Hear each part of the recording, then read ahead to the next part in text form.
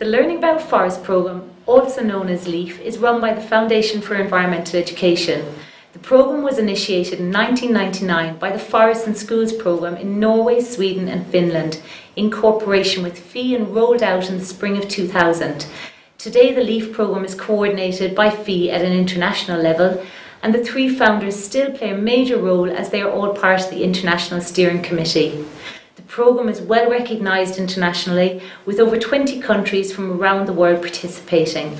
The number continues to grow each year. The programme aligns itself with Education for Sustainable Development and the new Sustainable Development Goals, in particular 4 and 15. The programme encourages environmental education through awareness raising among students, teachers and the wider community. The programme also looks at all the functions of the forest cultural, ecological, economical, and social. Learning about forests is operated in a thematic manner. There are five overarching themes which include biodiversity, water, climate, products, and community.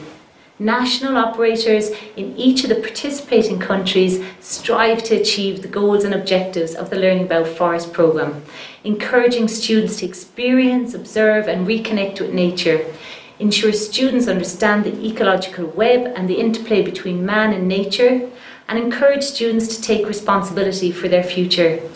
The following images showcase just some of the wonderful work being done by participating countries around the world.